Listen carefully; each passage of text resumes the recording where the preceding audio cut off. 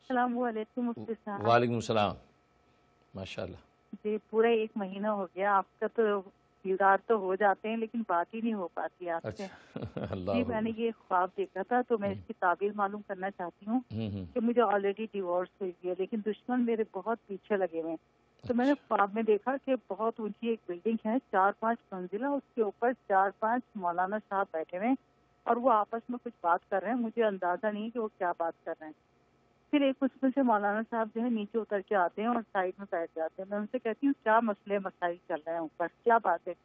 تو وہ کہتے ہیں کسی کی طلاق کا مسئلہ ہو رہا ہے کہ کسی کو طلاق ہونے والی ہے اس کے اوپر بحث ہو رہی ہے۔ پھر اس کے بعد وہ پیچھے میرے گھر کے پاس پیچھے کی طرف ایک نہر بہ رہی ہے۔ وہ وہاں جاتے ہیں مولانا صاحب وہاں جا کے اور میں دیکھتی ہوں کہ وہ بالکل کالا پانی ہو گیا۔ وہ اس میں جا کے الٹیاں کرنے لگتے ہیں اور وہ اتنی خون کی الٹیاں کرتے ہیں بہت زیادہ۔ تو اس کے یہ مجھے پوچھنا تھا اور بالکل ڈارک ہو جاتا ہے اور پورا میرا آدھا گھر جو ہے وہ بلیک پانی سے ڈھک جاتا ہے۔ اس کے بعد میں خواب دیکھتی ہوں ابھی تین چار دن پہلے کہ بہت بڑے بڑے گوشت کے پارچے ہیں لیکن اس میں گوشت کہیں نہیں ہے صرف ہڈی ہیں اور بہت بڑی بڑی ہے اور وہ ایک بڑے سے پتیلے میں پڑے ہوئے ہیں۔ اور میں کہتی ہوں، میں تو دال بنا رہی ہوں، لیکن یہ کیا ہے؟ تو میری بڑی والی بہن جن کا ابھی ڈیتھ ہوئی ہے، وہ کہتی ہیں کہ نہیں، میں تو یہ بنا رہی ہوں۔ تو آپ پلیز مجھے اس کی ذرا مجھے بتا دیں یہ کیا کیا چیز ہے اور میرے پڑھنے کے لیے بھی بتا دیں کہ یہ دشمنوں سے محفوظ رہنے کا۔ ٹھیک، بہت شکریہ۔ بہت شکریہ۔ سب سے پہلے آپ کی محبت اور بے قراری کا شکریہ۔ ظاہر ہے کہ ہم بھی جو ہے ہفتے کا انتظار کرتے ہیں کہ آپ تک پہنچیں اور آپ سے ہماری باتیں ہوں اور آپ کے مسائل شیئر ہوں، ظاہر ہم جوابات دیتے ہیں تو ہم اس کو اپنا صدقہ جاریہ سمجھتے ہیں کہ اللہ تبارک و تعالیٰ کی طرف سے ہم اجر کے مستحق ہو گئے ہیں۔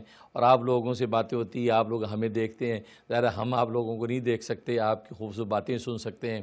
آپ کا دیدار کرنا، ظاہر اس کو بھی اللہ تعالیٰ قبول فرمائے اور آپ کو نیک اور اچھی زندگیاں عطا فرمائے۔ باقی آپ نے جو خواب دیکھا ہے، اس کا مطلب ہے کہ جن لوگوں نے آپ کو طلاق دی ہے یا طلاق کروانے میں جنہوں نے کوئی سازش کی ہے، وہ وہ نادم ہوں گے اپنے کیے پر اور وہ توبہ کریں گے۔ وہ توبہ کریں گے اور وہ اپنے توبہ طائب کریں گے اپنے معاملات سے، ہو سکتا ہے اس کا اظہار آپ کے سامنے کریں۔ کہ آپ نے اپنے سامنے مثلا ایک مولانا کو الٹیاں کرتے دیکھا ہے، کالا پانی دیکھا ہے ڈسکشن دیکھی ہے۔ اس کا مطلب ہے کہ وہ لوگ جنہوں نے طلاق دی ہے اور طلاق دینے کے اندر جو ہے وہ ان کی سازش آپ کے خلاف تھی، دشمنوں کی، ان کو ندامت ہوگی اور آپ کے سامنے شرمندہ ہوں گے۔